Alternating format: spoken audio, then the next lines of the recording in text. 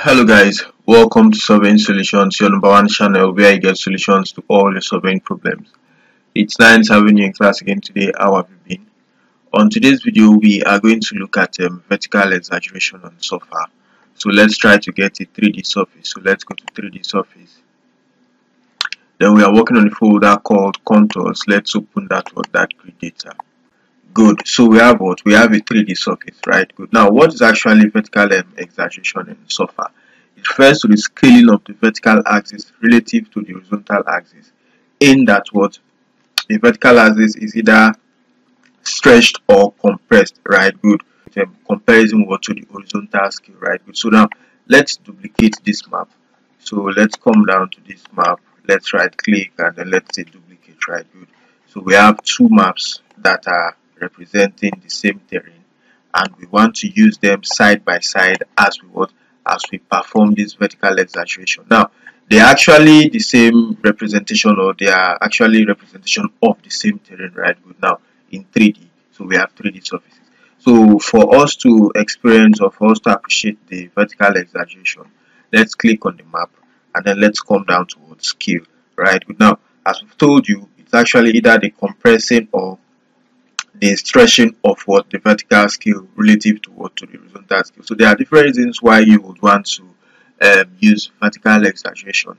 You can either want to what um, highlight um, landforms or maybe you want to have um, a better visualization of what your elevation difference is right good so now let's get to the main work so this map is actually this and then this other map is the second one right good so now let's start with this first map. Let's come down to the z scale. So you ensure that you click on scale and let's increase this value.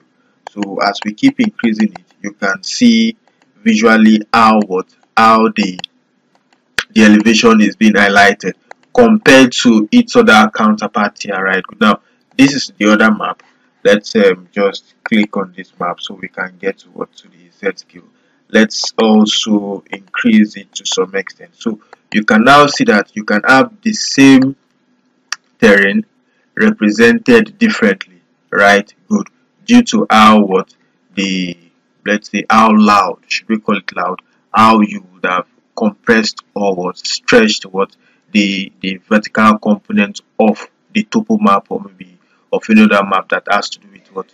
Your elevation data right so let's um, still play around with what the um, the exaggeration. Let's click on map. That's this first one. So if you keep increasing it you will see side by side how the terrain is being highlighted. So as we told you one of the reasons is what? To highlight landforms. So by looking at this side of the map or by looking at this side by this side of the terrain you will see that maybe this side is actually higher than this side. And then maybe there is maybe a valley or something. Maybe there is a dump here and maybe this place is the actual terrain However, these same elongated um, surfaces can still be compressed. So let's use this second map for the compressing. So let's bring this down to, let's say, sorry, we are reducing it, we are not increasing it. So now let's bring it down to almost a flat terrain. So you can now see that something that was maybe a terrain that was exaggerated to this point has been compressed to this point and they are all what the same representation they are representations of the same terrain.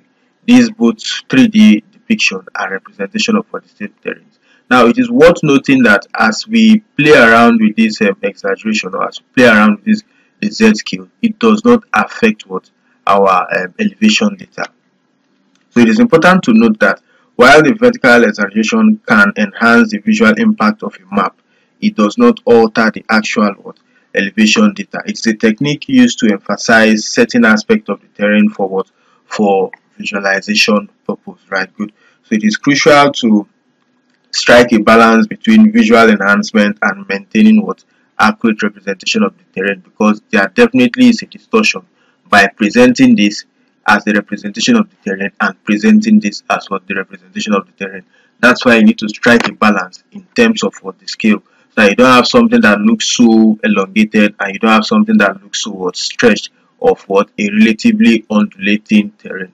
So it is very important to note that while you want to use it to highlight some landforms while you want to have what your maybe some elevation data or let's say elevation difference is well visualized, it is important to know that you should be careful not to have a too high vertical scale or maybe a too low vertical scale as we have in these two um, representations or in these two 3D representations of the same terrain as um, we have seen on Surfer.